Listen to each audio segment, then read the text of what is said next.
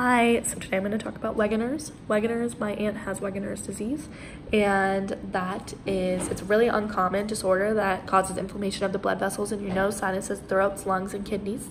Um, my aunt's going to need a kidney transplant pretty soon. She's had it since I was a kid, and it's really affected her in a lot of ways.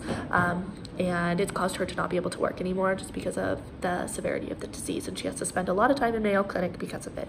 Uh, since it is really widely unknown and there aren't a lot of people in the United States that has it. Um, currently, there's about five that have been diagnosed with it.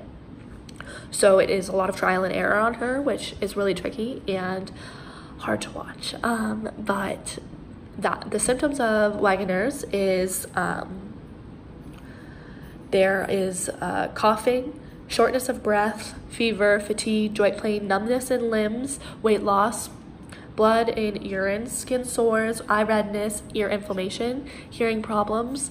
Um, for some people, this disease only affects their lungs, but for my aunt, it affects her kidneys.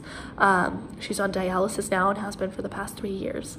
And in seven years, if she gets it, well, if she gets a kidney now, in seven years, she's going to need a new kidney because the disease will destroy it again. Um, so it's a vicious cycle, and it is really scary. And he, there's no treatment for it right now, and there is really nothing that doctors can really do for her at this moment. Um, Wegener's is also brought on by a um, kind of traumatic event, as doctors call it. For her, she had a nose surgery to correct her deviated septum, and that triggered the disease, and now she has Wegener's. So people could go their whole life without having a traumatic event and not trigger the disease to come into play. So it's different for everybody, but for her, it um, really affects her life. And even if you do get early diagnosis, which she did not, um, the, there are really no effective treatments that can help. Um, it's not contagious, obviously, and there's no evidence that's been inherited by anybody. So that is a good thought. Um, the condition can lead to inflamed narrow blood vessels and harmful inflammatory tissue masses. So that can also lead to granulomas. So she's had a few of those as well. Um, it most often affects people between the ages of 40 and 65. She got diagnosed when she was 42. So that is also something. And complications can be hearing loss, skin scarring, kidney damage, a loss of height in the bridge of the nose, a blood clot forming in one of the deep veins, usually in your legs. And um, there's a, the way that it was diagnosed in her was a lot of different lab tests. So um, lab tests on her kidneys, and that kind of showed that she had really, really poor function. And so that's where we're at.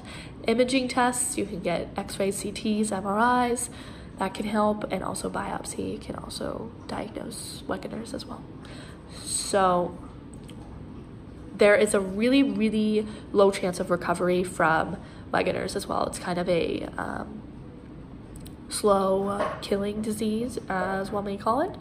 Um, at some point, this will be the thing to kill her, which is really sad and really scary, especially since there's very little known, and that causes um, a lot of heartache because there's not a lot of answers and not a lot of things that can be done to fix it. And it's just kind of a vicious cycle of doctors and treatments and then not working and then needing other things. Um, so that's been tricky. And she also has to take immune suppressing drugs, which um, can cause infection. So she's gotten a lot of pneumonia and a lot of things. Um, she's had sepsis, like lots of different stuff. And that's just kind of how her life is now. Um, she's not able to travel anymore because she can't take her dialysis machine with her. And uh, it is tricky. And it definitely is a visible disability in my mind because of the things that she's not able to do. And she's um, by physically looking at her she's yellow. And that's because of the kidney and and um, her liver doesn't function as well either. So there's a lot of different things that go into it. But um, there's not a good prognosis for Wegener's, and there's not really a cure at this moment. So that is it.